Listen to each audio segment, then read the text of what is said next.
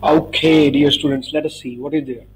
A charged sphere in a gravitational field is initially stationary between two parallel metal plates. There is potential difference V between the plates. So uh, there is a gravity acting on this uh, body. So let us say that the weight is acting downwards and uh, three changes can be made uh, number one, increase the separation of the metal plate, increase potential, apply the magnetic field into the plane of paper. That actually doesn't make any sense, although, but anyways, what changes made separately will cause the charged sphere to accelerate. So let us see. Now it is given that the sphere is initially at rest.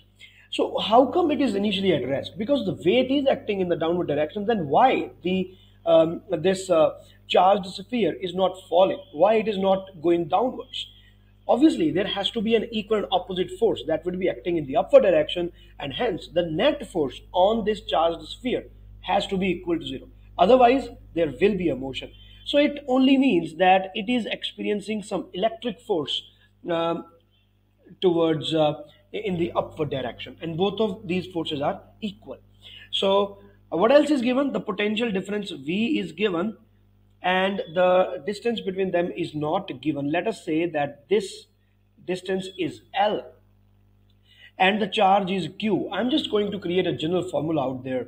So we know from the electrostatic that E is equal to minus dV by dr which can be written as basically minus V by L because uh, the electric field is constant, it is uniform uh, between the plates. So it can be simply written as minus v by L. From here, we can say that the electric field will be equal to v by L. That's it. So what is this force? This force will be Q into E. So the force in the upward direction will be Q into E and E is V by L. So Q into V divided by L. So this is the upward force and downward force is constant, it is weight. Now it means that this force is equal to W. So what is our general equation now? The upward force QVL is equal to the downward force weight. Now the three changes that can be made. Increase the separation of the metal plate. Let us see.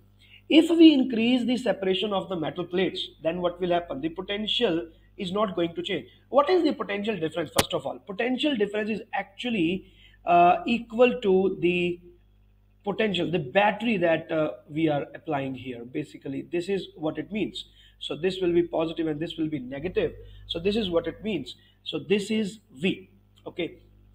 So now, obviously, V is constant.